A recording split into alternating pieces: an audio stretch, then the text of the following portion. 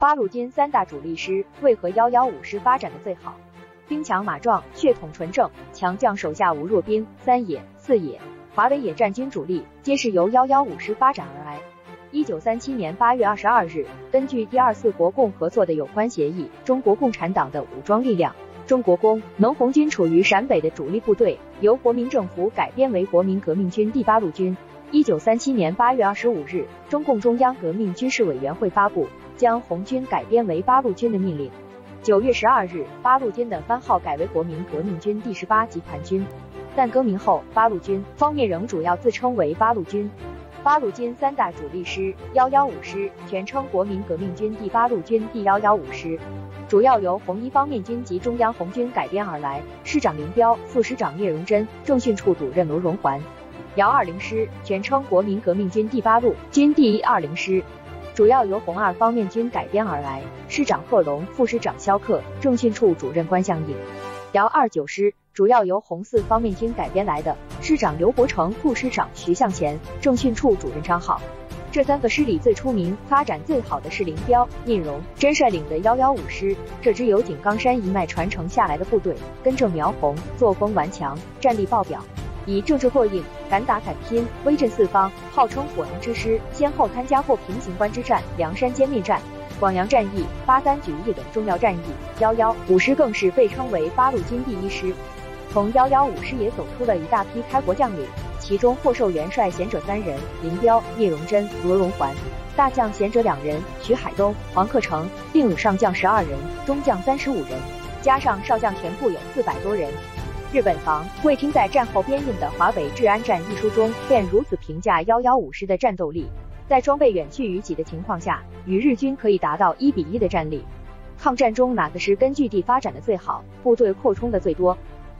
毫无疑问是幺幺五师。山东根据地何进、察冀根据地都是幺幺五师开辟的，无论面积、人口还是军队数量都是第一。三个主力师后来的发展也差别甚大。幺二九师发展成后来的中原野战军。及第二野战军经历过中原突围，挺进大别山，虽然意义极其重大，但是损失也很重大，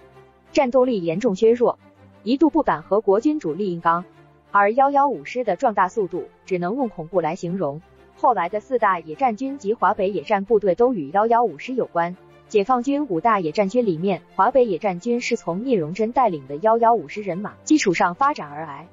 华东野战军及三野。是由山东野战军与华中野战军合编而成，山东野战军基本就是幺幺五师发展而来，占比可以说高达一半。东北野战军及四野是抽调幺幺五师发展的六万山东八路军和新四军第三十三万多人与其他部队合计十一万骨干发展起来的，后来又从晋察冀军区拉了八万部队过去。山东八路军是幺幺五师发展的不用说，新四军第三师是幺幺五师三百四十四旅和新四军其他部队组成的。晋察冀军区是幺幺五师发展起来的，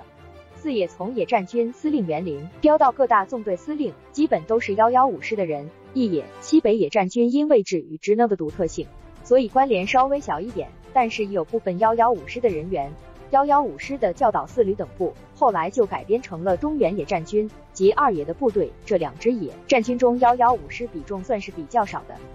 用一个词来形容幺幺五师极为合适：兵强马壮。为什么幺幺五师后期的发展最好呢？有以下三方面的原因：一、中共中央对于三个师的任务分工不同。幺二零师驻地主要就在西北地区，保卫党中央，阻止日军渡过黄河是其主要职责。当地地广人稀，经济和粮食都是大问题，所以在整个抗日战争期间，幺二零师都不是那么的出彩，基本都是些小战斗。幺二九师驻地在华北，作为主力与日军作战，恶战、大战比较多。其战略目的其实与幺二零师有那么些相似，在发展的同时，阻止日军西进，拱卫中央的安全。幺幺五师属于外围作战，而且进行了多次的分兵，一部分在山西，一部分由聂荣臻带到河北，一部分由罗荣桓带去山东，三处发展壮大的速度自然更快。换句话说，幺二零师和幺二九师都是保护中央的盾，而幺幺五师则是开拓进取的矛。幺幺五师没有后顾之忧，这点上是个优势。二、发展区域不同，幺二九师主要在华北，恰恰是日后大力侵略的地区，基本都是在前线。所以发生的战斗也最多。这样一来，也就无可避免的自身伤亡大，像苏京城、万子霞、陈元龙、叶承焕、邓勇耀等高级干部也在战斗中不幸牺牲。且幺二九师根据地的发展条件也不如幺幺五师。三幺幺五师领导水平高，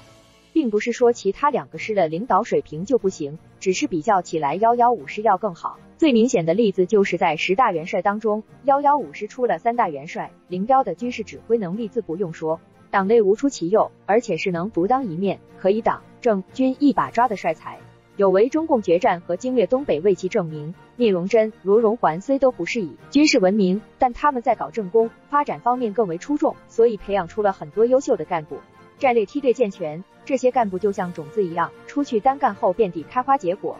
幺幺五师的领导力在后面的解放战争中也能体现。东北野战军百万雄兵三大战役，东北野战军就打了两个，一路从东北打到海南，立下开国第一功，极为证明。